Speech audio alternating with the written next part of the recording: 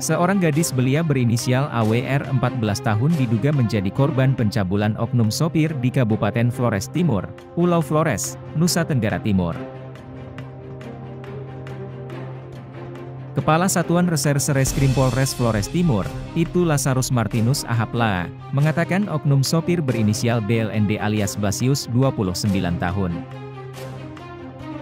Dia menjelaskan, korban dan pelaku adalah warga satu desa yang sama dalam wilayah Kecamatan Ile Mandiri, Kabupaten Flores Timur. Kasus ini dilaporkan keluarga korban ke Polres hari Senin 12 Agustus 2024, katanya kepada wartawan, Kamis, 15 Agustus 2024 siang. Saat melapor kasus tersebut, keluarga korban menguraikan bahwa AWR sudah dicabuli sejak bulan April 2024. AWR yang takut diancam terpaksa menuruti kemauan pelaku untuk dibawa ke salah satu desa di Kecamatan Larantuka. Pelaku memutar kendaraan lalu menuju TKP, di sana dia memaksa korban melakukan persetubuhan, ucap Lazarus.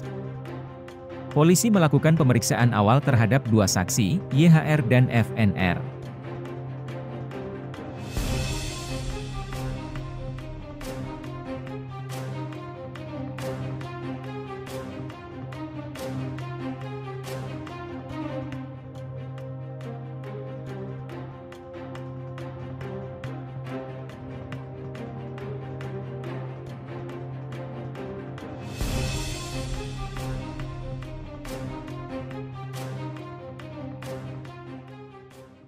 Download Tribun X sekarang.